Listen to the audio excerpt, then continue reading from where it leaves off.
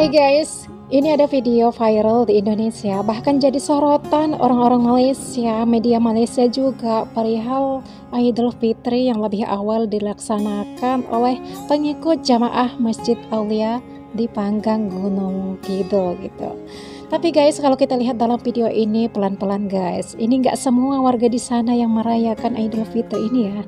Tuh dalam video ini ada warga tuh yang sepertinya baru pulang kerja atau beraktivitas lainnya yang nggak ikut masuk ke dalam masjid tersebut.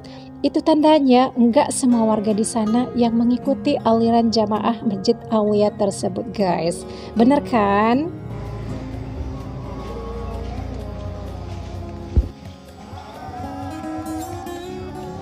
Pada Jumat 5 April 2024 kemarin, jamaah Masjid Aulia menggelar sholat Idul Fitri di sejumlah lokasi, salah satunya di Panggang.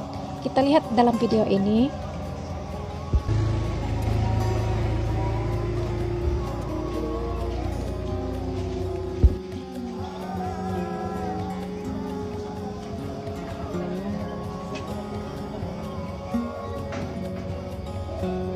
Nampak pelik tetapi itulah realitinya apabila sebahagian umat Islam di daerah Panggang, Gunung Kidul di Yogyakarta di sini guys kita lihat ada komentar ya. Ini real loh kakak, saya orang Jawa saja terkejut siap teleponan Allah katanya. Padahal masab kami masih hari Rabu insya Allah.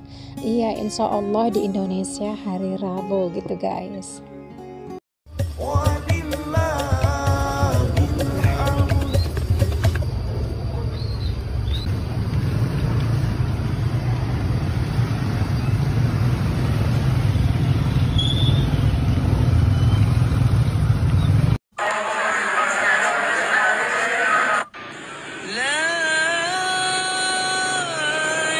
Rakyat-rakyat dekat Gunung Kidul Jogja dah raya hari ni. Sedangkan kita masih berpuasa. Aku tak sure diorang ikut kalender mana. Tapi sebenarnya diorang puasa lebih awal daripada kita. Dan diorang puasa 29 hari juga. So diorang raya hari ni. Dan benda ni bukan tahun ni je berlaku. Tahun lepas pun berlaku benda yang sama. Yang mana diorang raya dulu sebelum kita. So korang kalau nak raya cepat aku rasa korang nak boleh pindah kot kat sana. Tak pakai perhitungan saya telepon langsung kepada Allah Ta'ala. Ya Allah kemarin tanggal 4 malam 4 Ya Allah ini sudah 29 satu sawalnya kapan? Allah Ta'ala ngendika tanggal 5 semua kue kaya ngono. Lah makanya disalahke wong ora apa-apa urusan ingsun Gusti Allah.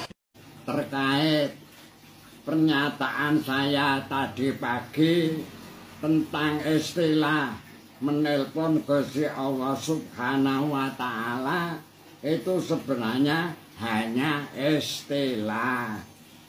Dan yang sebenarnya adalah perjalanan spiritual saya kontak batin dengan Allah Subhanahu wa Ta'ala.